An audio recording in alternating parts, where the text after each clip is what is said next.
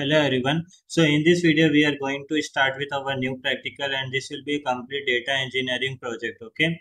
So we will be having one of the business use case and based on the business use case we will try to solve the problem how actually we do in a real time industry also.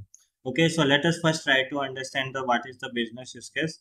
So we have a data that is continuously flowing to the Amazon S3 from external resources suppose you have a external resources suppose you have a web application suppose you have android or suppose you have any kind of the ios application. Okay? From there you are getting continuously data and that is getting stored into a amazon s3 in a json format. Okay? So what actually we are going to do? We are going to create one etl pipeline which will be able to transfer our data from one s3 bucket to another s3 bucket from a json format to a csv format okay. So for that how actually we can create a etl pipeline in a uh, aws environment for that we will try to uh, create we will try to create one etl pipeline with the help of the aws glue. Okay. We will try to see how actually we can use a aws glue. We will try to create a crawler. We will try to create a data catalog. And we will try to see how actually we can add a transformation and how actually we can directly transfer a data from one s3 bucket to another s3 bucket okay so this is the complete project which we are going to do in this particular project. Okay so let us start with our practical lab. Okay now let us start with the our practical lab part. Okay so i open to the aws console. Once you will uh, log into the aws console this will look like this. Okay what what is the first step we have to do? We have to create a s3 okay so search for the s3 click on the s3 okay here we are going to create our two source one source bucket one target bucket. Okay? So click on the create bucket. The source bucket i am giving as a name. Give your bucket name okay? So i am giving bu bucket name as a source input bucket something name i am giving. Make sure whenever you are creating a bucket it should be unique. Otherwise it will give error. After that you have to select your region okay?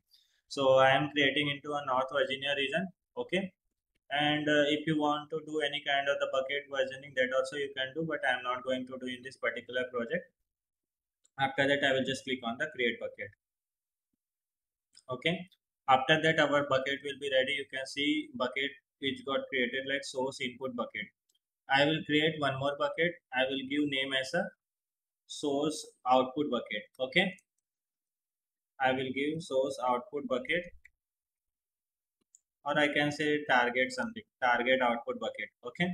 So this is the name I am giving. The in the same reason I am creating bucket. And just click on the create bucket. Okay? So our two bucket which is now created one is source bucket one is target bucket. I'll try to create one more bucket if it is necessary. I will give name as a other bucket uh, Uh, it is something this is the name I am giving okay? I just click on the create bucket. So I created three bucket. One is our source one is our target and one extra bucket I have created okay?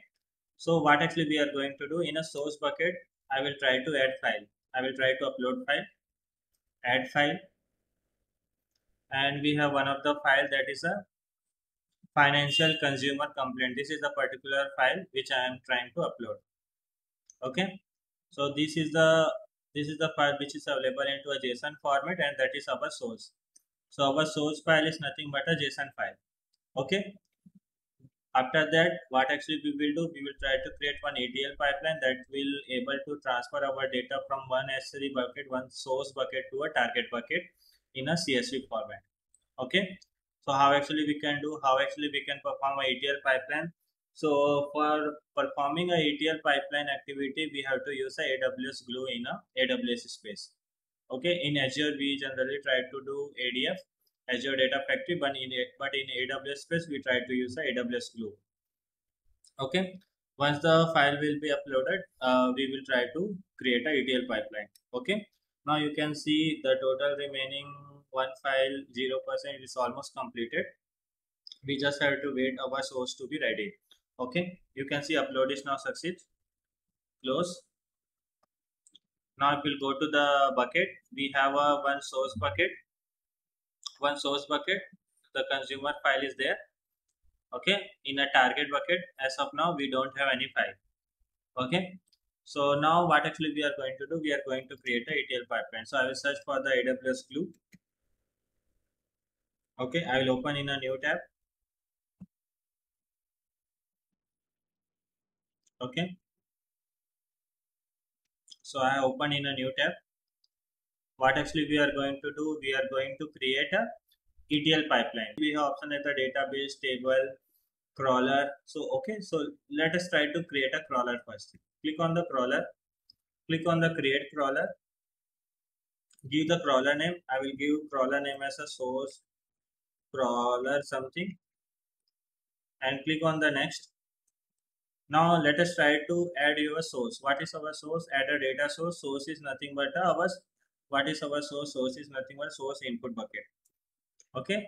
So this is our source. Leave the slash. Okay? And after that we will select crawl all subfolder it, it will go to the all the folders and it, it will crawl the data. Click on the s3 data source. We have added our data source. Click on the next. Click on the create new IAM role so we are going to create a IAM role so i will give name as a project demo okay this is the the IAM role which will get created automatically. In a glue itself, you can create a new IAM role. So you can see one IAM role which got created from here itself. Okay, click on the next. Now we will create a database. Add database. Give the database name. I will give database name as a glue. You can give any name. Okay, create database. So let me refresh. You can see glue is there. Select that and we want to run this crawler based on our demand not hourly daily okay? So i will select on demand. Click on the next. And after that click on the create crawler. So we have created one crawler. This is the crawler which is now ready. Click on that. Click on the run. Okay now our crawler will start running. What actually it will do? It will go to my s3 location whatever the data source we have given. It will crawl all our data okay? Whatever the data schema it will automatically create it. And it will create one table which will get stored into left side. You can see one table is there right? And here you will get one info one table will get created. That kind of the info you will get it okay? So let us wait it to be created. Once the table will be ready okay uh, we will be able to see what is our schema. As our file is available into a json format so you will get a schema as a array format okay? But in a ETL pipeline whenever we will create a ETL job okay there you will be able to see your schema automatically okay? So we will try to explore but once it will get created okay? So here we have created one database also. The database name we have given as a glue okay in that glue we have seen like uh, we, in a glue database only the table will get created okay? Now you can see the table changes from last one one table got created and the state is now stopping. Now if you will see one table which got created okay? One table which got created let us go to the table okay? In this table if you will see we have one source file okay? This is the particular table which got created and this is based on our s3 bucket name only okay? Now if you click here we'll go down. It is able to identify the column name as array and it is able to identify like our source file is nothing but a, it is in an array format. Okay? Now one table which got created. Now what actually we are going to do? Now we are going to create a etl pipeline. So you can see we have eight data integration and etl so click on the job. In this job we are going to create our etl pipeline. Okay?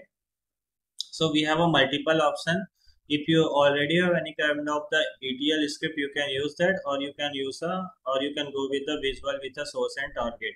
Let us try to see in a visually only how actually we can create a data pipeline. Click on the create.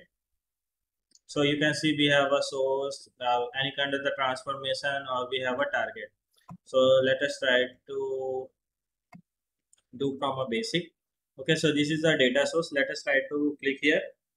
Let us try to add our source source is glue. What is our table? This is the table which we have created. That's it. Our source is now ready. Okay? Now if you click here now in the transformation if you will click you will be able to see there are multiple uh, transformation which is available. Like we have a select field drop field drop null value drop duplicate. Any kind of the transformation if you want to do you can do it. Okay? Now one thing also i will show. If you click here okay the source we have added right now if you go to the output schema it is showing array because our, uh, our schema is in uh, array format. Now if you click here you will be able to see this all the columns which is available. Okay? In this particular json format. So it automatically detected it is a integer it is a string and all. Okay? Okay now our source is ready. What actually we are going to do? We are going to add our target also. What is our target? Target is nothing but a click on the target uh, in a target also we want to uh, add our target as a let us try to add let me first remove this. Okay. So this is our source. Now let us try to add a target. Target is our amazon s3 only. Okay. Now on which format you want to save? We want to save in a csv we have a different format also. That also you can select. On which particular location you want to save i want to save into output location. I will select that. Okay. And after that uh, after selecting that that's it. Our source and our target is now ready. Now if you go to the script you will be able to see this is automated script which got generated based on our, based on our visual. Okay. Now go to the job details. Here we have to specify about the job details. I'll give job details as a glue job something any name you can give after that IAM role this is the IAM role we have created that actually i'm going to use. And the version language you can select that. The number of worker i need only two because i am uh, doing a project. Okay based on your requirement you can select that. And the if the failure happen how many retry you want or what is the job timeout i will select the five minutes only. Okay that's it. After this uh, after that you have to click on the save once you will save you can see your pipeline is now ready. If you go to the runs from here you can run the job or we even if you want to schedule you can schedule that also. Click on the run click on the run job. Now our data pipeline is status is running and we will get an error because what is the one mistake we have done? We haven't specified any proper access. Okay what actually we are doing? From a aws glue we are trying to co uh, copy the data from one s3 bucket to another s3 bucket in a json format uh, from json to a csv format right? So uh, whatever the im role we have created we have to specify the s3 level access also but we haven't given. Okay if you will see you will get one error okay? Let us try to be, to be completed then we will try to understand more. What will be the error we will get okay? Still we can see the status is running okay uh, here we have run manually but if you want even if you want to schedule you can schedule it or even if you want to use any kind of the lambda trigger that also you can use. Uh, mostly with the help of the lambda we try to trigger it and we will try to run it. So, so we have both the option any option we can select that. Okay?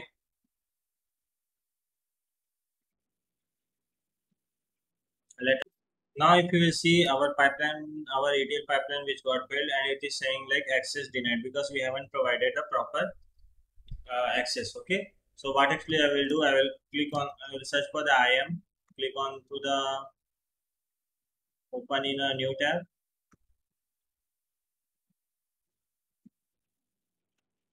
Okay in IAM what is our role we have created? Go to the role okay?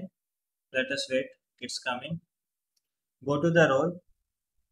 This is the particular role we have created. Click on that. Now you can see as of now we have only one access that is a glue service role access. Click on the add permission attach policy. What is the access we want to add? We want to give s3 related access. Okay? As of now i will give a full access. Okay because i'm doing a practical but based on your requirement you can give. Okay now now we have provided the access. Now what actually i will do? I will try to rerun. How actually we can rerun? Click on this run. Now you can see our pipeline is running. Now this time it should succeed and it should be able to transfer our data into another s3 bucket in a csv format. Okay, so let us wait it to be completed. Now if you will see our running status is succeed. Now if will go to the S3 bucket, uh, in S3 bucket, uh, go to the your output location. This is our output path target output path. Now you can see one part file which got copied. Let us try to click here try to download. And it should be we have actually saved into csv format so it should be able okay let us try to open it